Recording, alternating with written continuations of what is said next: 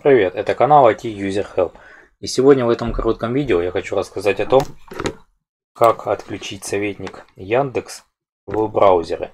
Бывают такие ситуации, когда э, бороздя по интернет-сайтам, у нас появляется такая желтая полоска от Яндекс Маркета, называемая Яндекс Советник, которая очень сильно раздражает всех.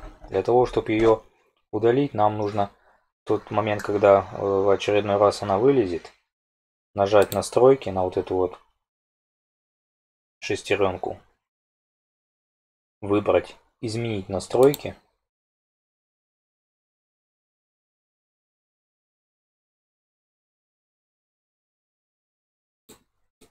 И поснимать все галочки.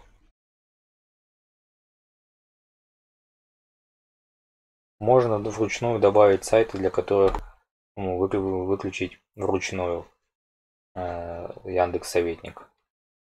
Все, после того, как мы поснимали галочки, можем закрывать Яндекс Советник. И больше он не должен появляться.